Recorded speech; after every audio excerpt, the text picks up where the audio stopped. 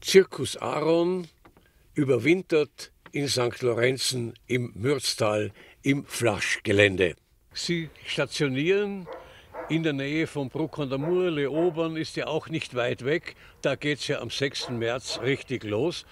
Und äh, was war eigentlich der Grund, dass Sie sich genau hier etabliert haben für die Wintermonate? Also wir haben zufällig den Herrn Helmut Flasch kennengelernt, haben uns auch sehr tief mit ihm Gespräche gehalten und haben uns entschlossen, ein gemeinsames, äh, gemeinsames Projekt hier zu starten. Äh, Weihnachtszirkus, Weihnachtsmarkt und halt alles unter einem Dach. Es ist ein sehr schönes Gelände hier und wir hatten vergangenes Jahr schon einen sehr großen Erfolg.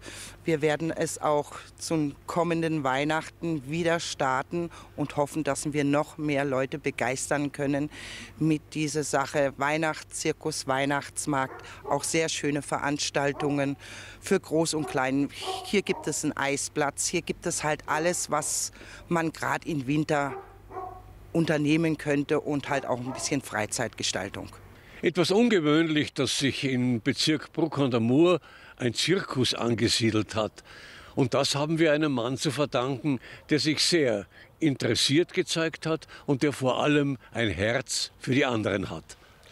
Naja, bin mir nicht so sicher, ob man das äh, äh, mir verdanken muss. Das hat man einfach zum Verdanken, dass ähm, äh, die Leute gesprächig sind. Beim Rain kommen die Leute zusammen. Und äh, naja, voriges Jahr ähm, im Sommer. Die Familie Simon, der Herr ähm, äh, Simon und die Frau Simon, haben sich äh, sind da runtergekommen und, und haben gesprochen und äh, die waren vom Zirkus, die haben dann Zirkus gehabt in Marein. Und irgendwie äh, hat es gefunkt, irgendwie haben wir uns gegenseitig mögen und haben auch halt gesagt, was da wir für ein, äh, you know, eigentlich äh, die Linda hat gesagt, äh, was da wir für einen Winter, habt's was, äh, wir würden gern hier sein vielleicht.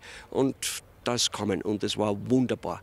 Äh, einfach ähm, eine, eine, sehr gute Freundschaft ist daraus kommen und ich hoffe, dass, äh, ich hoffe, dass die Freundschaft wiederkommt, äh, dass wir nächstes Jahr das wieder machen. Oh ja. Zirkusluft ist Duft, sagte einst der berühmte Clown Charlie Ribbel. Und lange ist es her, dass die großen Zirkusparaden durch die Städte zogen, um ihre Künste zu zeigen. Und die Bezeichnung Menschen, Tiere, Sensationen werden demnach gerecht. Ja, das sind keine falschen Worte. Also Zirkuswelt ist wirklich seine eigene Welt. Und das kann man wirklich nur machen, wenn man Spaß und Freude an die ganze Sache hat. Es ist ein alter Beruf und ich hoffe, der geht niemals unter.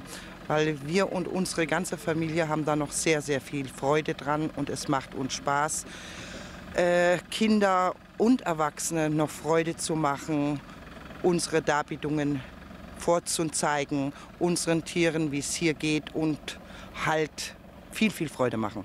Wie groß ist Ihr Ensemble? Ja, äh, jetzt über den Wintermonaten sind wir in der Pause jetzt zurzeit hier in Flash City und das ist halt nur noch Familie da.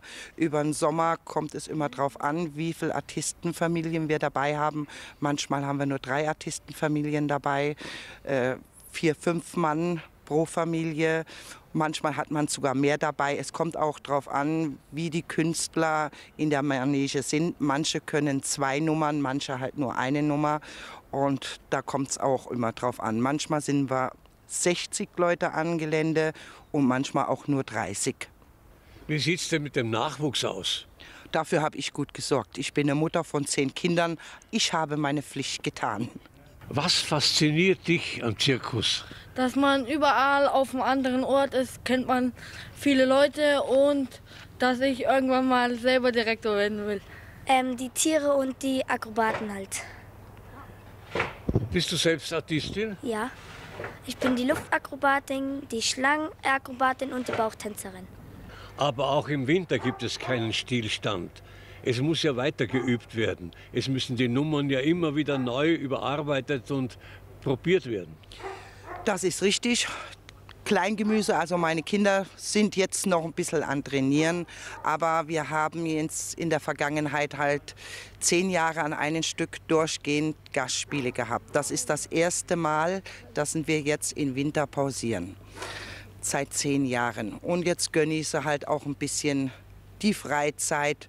Sie müssen halt trotzdem schauen, dass unseren Tieren gut geht, dass man nicht einrostet mit Bogenakrobatik oder sonstiges. Aber jetzt heißt es wirklich mal ein paar Wochen Ruhe. Mit Beginn 6. März zieht die Karawane wieder durch die Lande. Ja, wir starten unser Programm in Leoben. Also am 6. März ist alles aufgebaut. Am 7. haben wir dann das erste Gastspiel. Und ich hoffe, da kommen halt auch wieder einige Zuschauer. Und dann geht es halt weiter nach Torfeiach, dann geht es nach Knittelfeld, Judenburg, dann geht es nach Kärnten in Kärntner Land. Ja, und man kann ohne weiter sagen, dass das Schlusswort sein soll, Akrobat schön. Das ist richtig. Akrobat ist schön und es wird auch immer schön bleiben. An Romantik und Träumerei von der Vergangenheit und der Zukunft, wo einst ein stolzer Viermaster stand, stehen heute die kleineren Zeltaufbauten. Das Zirkusleben hat aber an Begeisterung nichts eingebüßt. Auch heute und in der Zukunft wird die Zirkuskarawane durch die Lande ziehen und Jung und Alt in Entzücken versetzen.